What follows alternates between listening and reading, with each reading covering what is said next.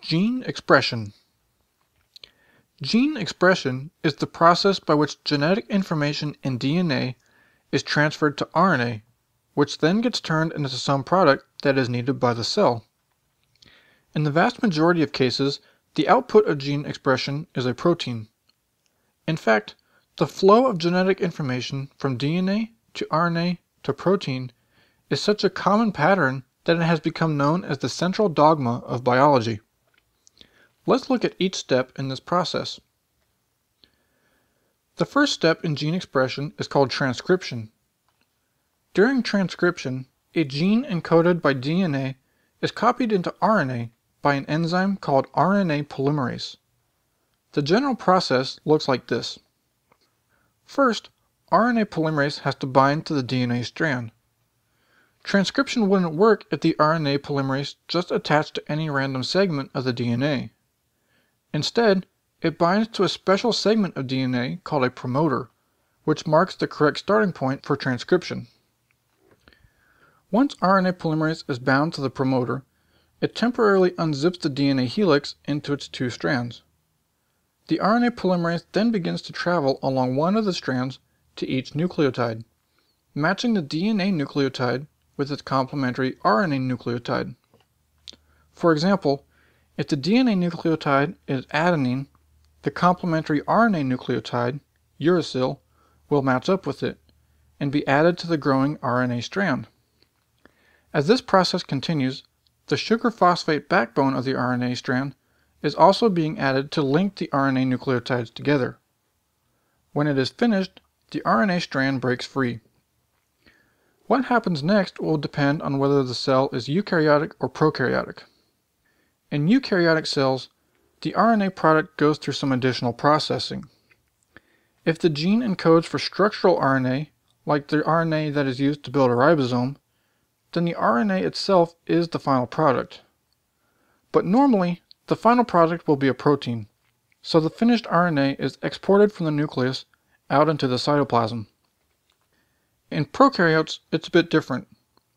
Because of structural differences in prokaryotic DNA compared to eukaryotic DNA, the RNA in prokaryotic cells does not need any additional processing. In addition, because prokaryotic cells have no nucleus, there's no need to export the RNA to the cytoplasm. It's already there. At this point, the RNA is sitting in the cytoplasm. In its current form, it is known as messenger RNA, or mRNA for short. The structure of the mRNA is a bit different depending on whether the cell is eukaryotic or prokaryotic. But in either case, it has a section of nucleotides that hold the instructions to build a protein. It will now enter the second main phase of gene expression, known as translation.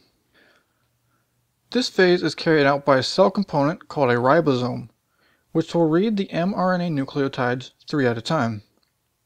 Each set of three nucleotides is called a codon and has a corresponding amino acid. The amino acid is paired up with the help of another type of RNA called transfer RNA, or tRNA, which has two halves. The first half is a section of nucleotides corresponding to the nucleotide sequence in the mRNA. This tRNA sequence is called an anticodon. The second half of the tRNA is the amino acid that corresponds to the mRNA codon. Let's look at how all of this comes together. First, the ribosome attaches to the mRNA. It then travels along the mRNA strand until it hits the first codon. A tRNA with the correct anticodon then enters the ribosome and binds to the codon on the mRNA. The amino acid on the other end of the tRNA is then transferred to the growing amino acid chain, and the ribosome progresses to the next codon. The first tRNA breaks free, making room for the next one to match up. This process continues until a special codon called a stop codon is hit, at which point the polypeptide chain breaks free. At this point, the output from the ribosome is just a long polypeptide chain. It still has to be folded into a stable 3D structure. The really interesting part of this step is that there is no organelle or cell component that does it. The molecular forces of the amino acids interact with each other to fold the protein into its final three-dimensional structure. What this means is that the correct 3D structure of the protein is actually encoded within the amino acid sequence itself. This principle is known as Anfinsen's dogma, coined by Christian B. Anfinsen, a discovery for which he won a Nobel Prize in 1972. Once the protein has folded into its final structure, it's transported off to wherever it needs to be. Usually this is somewhere within the cell, but sometimes it can be exported from the cell entirely and used somewhere else in the body. An example of this would be digestive enzymes, which leave the cells and enter the stomach. So that's the basic process of gene expression. But how does the cell know when or when not to express a gene? In other words, how is gene expression regulated?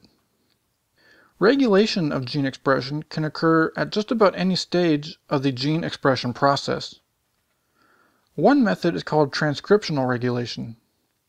Some genes have binding sites around the coding region of the gene that allow specific proteins to bind to the DNA, which can regulate expression of the gene in a variety of different ways. For example, the bound protein can decrease expression of that gene by blocking RNA polymerase from binding to the DNA. In other cases, it can increase expression of that gene by helping RNA polymerase bind to the DNA. Eukaryotic cells have another method called post-transcriptional regulation. With this method, the cell simply blocks the RNA from leaving the nucleus. Because RNA is single-stranded, it is not as stable as DNA. If the cell blocks RNA from leaving the nucleus, it just sits there and breaks down without ever being translated into a protein. Another method of gene expression regulation is called protein degradation. Basically, this just means that when a protein is no longer needed, the cell can destroy it to control the amount of that protein in the cell. You'll notice that none of these methods rely on direct regulation of translation. While that does happen, it's pretty rare in normal regulation. But I do mention it because this is how some antibiotics work. For example, an antibiotic called streptomycin works by binding to the ribosomes of bacterial cells and interfering with protein translation. Without the ability to synthesize proteins, the cell dies. Because the ribosomes of prokaryotic and eukaryotic cells have structural differences, the antibiotic does not bind to the eukaryotic ribosomes, and the eukaryotic cell remains unaffected. Genetic information almost always follows the same basic pattern, starting in DNA, being transcribed to RNA, and then translated into proteins in the process of gene expression. This recording is by Lernabit.com. Learn about science in 10 minutes or less with free audio lectures from Learnabit.